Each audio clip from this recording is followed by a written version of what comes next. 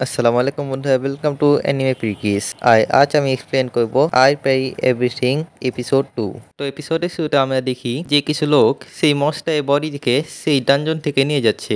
এবং অন্যদিকে সেই মেয়েটি, যার নাম ছিল লিন, সে ওই সকল মৃত সোলজারেই বডি পাশে যায় এবং তাতে আত্মায় শান্তি কামনা করে। এরপর লিনের কাছে একটি মেয়ে আসে, যার নাম হয় ইনাস। সে লিনকে জিজ্ঞাসা করে যে সে ঠিক আছে কি? তো লিন তাকে উত্তর দেয় যে সে ঠিক আছে। এখানে ইনাস লিনের কাছে ক্ষমা চেয়ে বলে, আমাকে ক্ষমা করে দিবেন। এটা আমার কারণেই হয়েছে। আমাকে আপনার পাশে থাকতে হতো। তো এখানে লিন বলে এটাতে তোমায় কোনো দোষ নেই।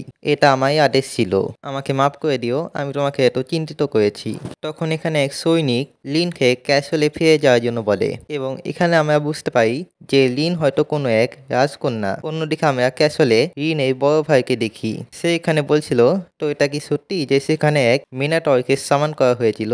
মিনাটর তো ডানজনে অনেক গভীরে থাকে। এখানে এক সৈনিক বলে হ্যাঁ আপনি ঠিক বলছেন। সেই মিনাটরকে ওখানে সামান করা হয়েছিল। এখানে লিনের ভাই বলে এই মানে এটা লিনকে হত্যা করাই একটি চেষ্টা ছিল। সেই সৈনিকটি বলে, আপনি ঠিক বলছেন, সেই লাশগুলোর মধ্যে থেকে আমরা এক আংটি পেয়েছি। এই আংটিটির মাধ্যমে সেই মিনাটয়কে সেখানে ডাকা হয়েছিল।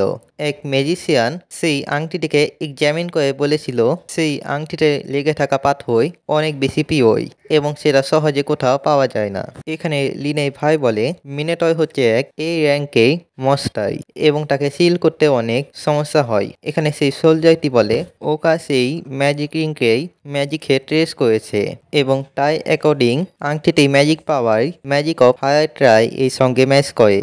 এখানে রিনে ভাই বলে, তা অনেক দিন থেকেই আমাদের বিরক্ত করছিল। এবং এইবার তো তারা প্রিন্সেসকে মারার চেষ্টা করেছে। তবে আমি একটা বিষয়ে আশ্চর্য হচ্ছি যে তারা এভিডেন্সগুলোকে লুকানোর চেষ্টা কেন করেনি? সেই সৈনিকটি বলে, এই মানে কি তাদের উদ্দেশ্য প্রিন্সেসকে মারা ছিল না, বরং তা অন্য কিছু প্ল্যান করছে? এখানে লিনে ভাই বলে তা হয়তো চাই যে আমরা খুব শীঘ্রই তাদের সাথে যুদ্ধ শুরু করে দিই। কারণ তার ডানজেন অফ দ্য লোস এবং তাই ভিতরে করা গুপ্তধনগুলোকে চাই। তবে সেই ব্যক্তিটাই কি হলো? যে লিনকে বাচ্চা ছিল। সে শুধু ওই মিনেটয়কে মেয়ে ছিল না, বরং সে তো আমাদের শ্যাডো কোম্পানি থেকেও বেঁচে গেছিল। সেই ব্যক্তিটা আসলে কে? এবং অন্যদিকে আমাদের নয় সিন দেখানো হয়, এখানে নয় গিল্ড মাস্টারের সাথে দেখা করতে গেছিল এবং তাকে দেখে গিল্ড মাস্টার বলে, নয়, তুমি এখনও বেঁচে আসো আমি শুনেছিলাম যে তুমি যেই কনস্ট্রাকশন সাইডে কাজ করছিলা তার পাশের ডানজনে এক মিনিট অয়কে দেখা গেছিল। আমি অনেক চিন্তিত ছিলাম যে তুমি মারা যাওনি তো, কারণ কাল তুমি কাজে পয়, এখানে এসেছিল না। এখানে নয় বলে, আমাকে ক্ষমা করে দিন। আসলে হয়েছিল কি? কাল রাতে দুইজন লোক আমায় পিছু করছিল। এই জন্য আমি কাল রাতে বাড়িতে চলে গেছিলাম। তো এখানে সেই মাস্টার বলে আচ্ছা তো এই ব্যাপার। তো তুমি এত নোংরা কেন হয়ে আছো? তো এখানে নয় বলে, আসলে আমি কিছুক্ষণ আগে ড্রান পরিষ্কার করে এসেছি তো এই জন্য। এখানে সেই মাস্টারটি বলে, সৌভাগ্যক্রমে সেই মাস্টারটি তোমাকে আঘাত করেছিল না। কারণ সেরকম মাস্টারের সাথে ফাইট করা তো আমার মতো এক এই অ্যাঙ্কারের পক্ষে অনেক কঠিন। এটা শুনে নয় ভাবে, অর্থাৎ এই জগতে এরকম সব মাস্টারও আছে। সৌভাগ্যক্রমে আমি কাল গায়ের সাথে ফাইট করেছিলাম। তো এরপর সেই গিল্ড মাস্টারটি নয় খেয়ে তাই কাজে টাকা দিয়ে দেয়। এবং তিনি বলে, তো তুমি কোনো প্রপার জব খুঁজতে চাও না? এখানে নয় বলে আপনি কি বলতে চান? আমি তো অ্যাডভেঞ্চার হিসেবে কাজ করছি। এখানে সেই মাস্টারটি বলে, দেখো নয়, আমি এই আগেও তোমাকে এই কথাটি বলেছি। যদি তুমি এই মুহূর্তে আমাদের সাথে কাজ না করতে, তো তুমি এর থেকেও বেশি টাকা উপার্জন করতে পারতে। তবে তখন নয় পিছন থেকে একটি মেয়ে আছে এবং সে আসলে লিন ছিল। এখানে লিন বলে, আমি তোমাকে খুঁজে পেয়েছি। ক্ষমা করো, আমাকে তোমায় এইভাবে খুঁজতে হয়েছে। এই জন্য আমি লং ডিস্টেন্স ডিটেকশন স্কিল ব্যবহার করেছি। ভাই, এত লম্বা নাম দেয় কে হু এখানে নয় বলে। এ মানে তুমি স্পাই গ্রুপ থেকে নাকি? এখানে লিন বলে। না, আমার স্পেশালিটি হচ্ছে ম্যাজিক এখানে লিন নয় নয়কে বাইকে নিয়ে যেতে চাই তার সাথে কথা বলার জন্য। এখানে গিল নয় খেয়ে বলে আসলে তুমি কি করেছ? তো এখানে নয় বলে, আমি কিছু খারাপ করিনি। এখানে লিন নয়কে তার সাথে যেতে বলে এবং সে তাদের আশেপাশে সাউন্ড প্রুফ এবং কি জানি ম্যাজিক করে দেয়। তো এখানে গিল্ড মাস্টার বলে, তাড়াতাড়ি যাও নয়, আর হ্যাঁ সাবধানে। সে যেন কোনোভাবেই রাগান্বিত না হয়। তো এখানে লিন আর নয় শহরে হেঁটে বেড়াচ্ছিল এবং লিন এই ম্যাজিকের কারণে কোনো ব্যক্তি তাদেরকে দেখতে পাচ্ছিল না অথবা তাদের কথা শুনতে পাচ্ছিল না। অবশেষে একটি জায়গাতে এসে লিন নয়কে ধন্যবাদ জানাই। কাল তার জীবন বাঁচানোর জন্য সে বলে, যে তুমি শুধু আমার জীবন বাঁচাওনি, বরং তুমি আজ যেই প্রতিটা মানুষের জীবনই বাঁচেছ সেই দিন। এখানে লিন বলে যে তার বাবা, নয়ের সাথে দেখা করতে চায় এবং তাকে পুরস্কার দিতে চায় তবে নয়, এই সবে রাজি হয় না। তবে এখানে লিন অনেক জোয়াজয়ী করছিল এবং এই জোয়াজয়ী ফলে অবশেষে নয় যেটা রাজি হয়। তবে হ্যাঁ নয় এখানে বলে যে সে কোনো পুরস্কার দিবে না। তো এখানে লিন তাই ম্যাজিক ব্যবহার করে নয় খেতায় বাড়িতে নিয়ে আসে এবং এখানে লিন নয় খেতায় নাম জিজ্ঞাসা করে, এরপর সে নিজেই ইন্ট্রোডাকশন দেয়। এখানে লিনের বাড়ি দেখে নয় বুঝে গেছিল যে সেই গিল্ড মাস্টারটি তাকে লিনকে আকান্বিত করতে মানা কেন করেছিল। তখন তাদের দুইজনের সামনে লিনাস চলে আসে এবং সে লিনকে নয়ের ব্যাপারে জিজ্ঞাসা করলে লিন বলে যে এটাই সেই ব্যক্তি যে কাল আমাকে রক্ষা করেছিল।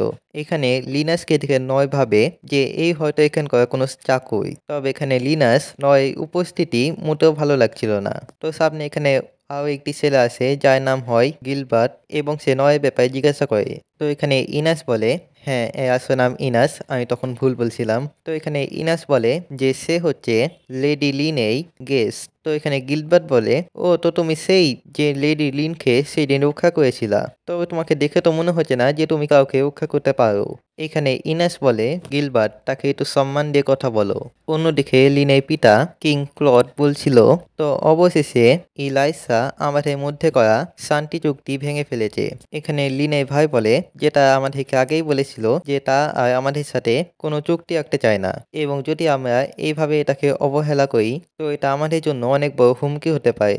তখন এখানে লিন, নয় এবং বাকি সবাইদের সাথে চলে আসে। এখানে লিনের ভাই যার নাম হয়তো ইন মানে আমি নিশ্চিত নই। সে এখানে বলে, লিন, তুমি এরকম পোশাক কেন পরে আসো তুমি কি বাহিরে গেছিলা? এখানে লিন বলে, আমি তাকে নিজে খুঁজে বের করতে চেয়েছিলাম যে আমাকে রক্ষা করেছিল। এখানে কিং বলে, তো এটা সেই ব্যক্তি যে কাল তোমাকে রক্ষা করেছিল? এখানে নয় বলে আমার অ্যাপিয়ারেন্সের জন্য আমাকে ক্ষমা করবেন। আসলে লিন আমাকে এখানে অনেক তাড়াহুড়োতে নিয়ে এসেছে এবং হ্যাঁ আমি কোনো নোবাল নই, তো আমি প্রপার ম্যানার্স জানি না। তো যদি আমার কাছে কোনো ভুল হয়, তো আন্তরিকভাবে তা ক্ষমা করে দিবেন। এখানে কিং বলে তোমার এইসবে চিন্তা করার দরকার নেই এবং আমাদের সাথে এখানে দেখা করতে আসার জন্য তোমাকে ধন্যবাদ। আমি শুধু তোমাকে ধন্যবাদ দিতে চেয়েছিলাম লিনকে বাঁচানোর জন্য।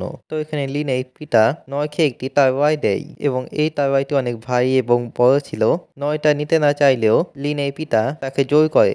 এখানে নয় বলে, আমি এত দামি উপহার নিতে পারি না। তো এখানে কিং বলে, সমস্যা নেই। তো অনেক জয়জয়ী ফলে অবশেষে নয়কে সেই তারওয়ালটি নিতে হয়। এরপর নয় সেখান থেকে চলে যেতে লাগে এবং সে ওই তারওয়ালে সাইজ দেখে ভাবে, এই তারওয়ালের সাইজ তো একেবারে ড্রেয়ানের মতো। এই টাওয়ারের মাধ্যমে তো আমি অনেক ভালোভাবে ড্রান পরিষ্কার করতে পারব। তবে তখন পিছন থেকে ইনাস নয়ের সাথে কথা বলার জন্য আসে, আর এখানে নয় ভাবে, যে সে কি আমার কারণে এগিয়ে আছে নাকি? এখানে ইনাস বলে, আমাদের ক্ষমা করে দাও। লেডি লি নেই, রক্ষককে আমাদের এইভাবে ট্রিট করা উচিত হয়নি। এবং আমি তোমার কাছে ক্ষমা চাইছি, কারণ আমি তোমার উপরে সন্দেহ করেছিলাম। আসলে এই ক্যাসেলটিকে প্রত্যেক করাটা দায়িত্ব আমায় এই জন্য আমি কারোর উপরে এত সহজে ভরসা করতে পারি না। এটা শুনে নয় বলে এই মানে তো মেট না?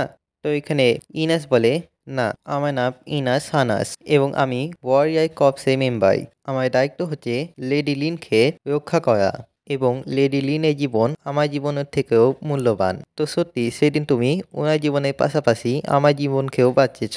তো এখানে ইনাস নয় খেতায় নাম জিজ্ঞাসা করে এবং নয়টায় নাম বলে। তবে নয়ের নাম শুনে ইনাস একটু আশ্চর্য হয়ে যায়। এখানে নয় বলে, আমি কি কিছু ভুল বয়ে দিলাম? ইনাস বলে না তেমন কিছু না। তো আমি এখন যাচ্ছি। তো এখানে ন চলে যেতে লাগে। তখন তার সামনে গিলবার চলে আসে এবং সে তাকে বলে তুমি কি কিছুক্ষণের জন্য আমার সাথে যেতে পারবে? আসলে আমি এটা দেখতে চাই যে তুমি কতটা শক্তিশালী। এই সব শুনে নয় ভাবে বাস আমার বাই যাওয়া হয়ে গেল। দেখে মনে হয় না যে তা আমাকে এত সহজে সাইবে তো এই এপিসোডটি এখানেই শেষ হয় এবং এই এপিসোডে মূলত ক্যারেক্টার ইন্ট্রোডাকশন হয়েছে। আমি তো ভেবেছিলাম প্রথম এপিসোডে মুটু হয়তো, এই এপিসোডে শেষেও কোনো এক ফাইট সিন হবে, তবে তেমন কিছুই হয়নি। তবে যাই হোক, যদি আপনাদের এই ভিডিওটি ভালো লেগে থাকে, তাহলে লাইক করবেন শেয়ার করবেন, নতুন হলে সাবস্ক্রাইব করে পাশে থাকা বেল আইকনটি অন করে দেবেন। দেখা হচ্ছে পরে বাই আল্লাহ হাফিজ।